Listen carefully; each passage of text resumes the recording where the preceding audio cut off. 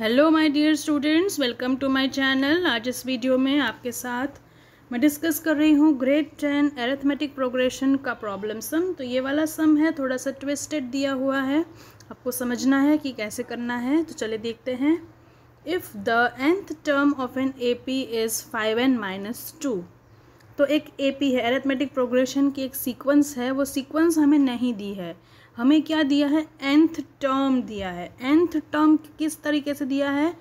Five N minus two तो जो हमारा nth टर्म है टी एन है, वो क्या है? फाइव एन माइनस टू अब इसमें समझना है, थोड़ा सा ट्रिक है। अब nth टर्म ऑलरेडी हमें दे दिया है। तो हम उसमें से क्या निकाल सकते हैं? N की वैल्यू डालेंगे वन मतलब फ़र्स्ट टर्म हमारा निकलेगा। अगर n की वैल्यू हम लेते हैं, n की वैल्यू वन लेंगे तो हमारा फ़र्स्ट टर्म निकलेगा, n की वैल्यू अगर हम टू लेंगे तो हमारा सेकेंड टर्म निकलेगा। जब हमारा फ़र्स्ट टर्म और सेकेंड टर्म निकल जाएगा, तब हम क्या करेंगे? फ़र्स्ट टर्म हमारा ऑलरेडी इस इस वैल्यू से निकल जाएगा। फ़र्स्ट सेकेंड टर्म निकलेगा तो हमारा कॉमन डिफरेंस निकल जाएगा। तो मतलब फ़र्स्ट टर्म निकलेगा तो हमको ए की वैल्यू मिल जाएगी कॉमन डिफरेंस निकलेगा तो हमको डी की वैल्यू मिल जाएगी। जब ए और डी की वैल्यू मिल जाएगी तो T nineteen T nineteen nineteen term निकालने के लिए हम T nineteen is equal to a और डी की वैल्यू डाल के नाइनटीन टर्म जो है वो निकाल लेंगे। तो इस तरीके से जब भी आपको एग्ज़ाम में क्वेश्चन मिले क्वेश्चन को थ्री टाइम्स फोर टाइम्स पहले अच्छे से रीड करिए। उसको समझिए कि हम उसमें कैसे फर्दर सॉल्व करेंगे। थिंक करिए टू सेकेंड्स के लिए, फिर उसको सॉल्व करना स्टार्ट करिए। तो इस तरीके से पहले समझना है क्वेश्चन को। तो अब हम स्टार्ट करते हैं सॉल्व करना। टी एन क्या दिया है? T n is equal to five n minus two तो हम एन की वैल्यू डालेंगे वन मतलब फ़र्स्ट टर्म हुआ वो तो फ़र्स्ट टर्म में इसलिए वन वैल्यू डालेंगे टी एन की।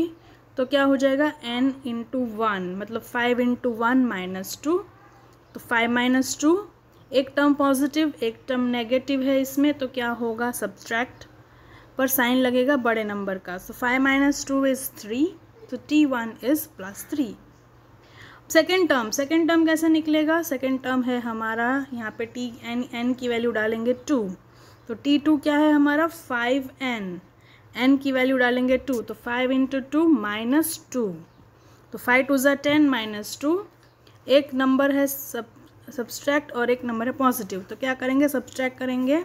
तो टेन माइनस टू होता है एट, बड़ा नंबर है टेन, उसका वैल्यू है पॉजिटिव। तो टी टू इज़ हमारा प्लस एट। अब यहाँ पे समझिए, ये हमारा फ़र्स्ट टर्म निकला तो हमारा ए क्या निकल गया? A is equal to three निकल गया हमारा। ये टी टू हमारा सेकेंड टर्म निकला। तो second term minus first term, इस तरीके से अगर हम करेंगे तो हमारा कॉमन डिफरेंस निकलेगा। तो eight minus three is five one term is positive one term is negative तो ऑपरेशन हम क्या करेंगे? नेगेटिव सब्सट्रैक्ट आंसर आया फाइव साइन लगेगा, बड़े नंबर का तो plus five d is equal to plus five ठीक है? ए की वैल्यू निकल गई डी की वैल्यू निकल गई. बहुत इजी हो गया अब। अब हमें नाइनटीन टर्म की वैल्यू निकालना है। तो टी नाइनटीन डालेंगे। फॉर्मूला अब हमारे पास ऑलरेडी हमें पता है। A plus nineteen minus one d so n की वैल्यू नाइनटीन इसलिए यहाँ पे है नाइनटीन एन की वैल्यू जो भी होगी, वो यहाँ पे डालेंगे। ठीक है?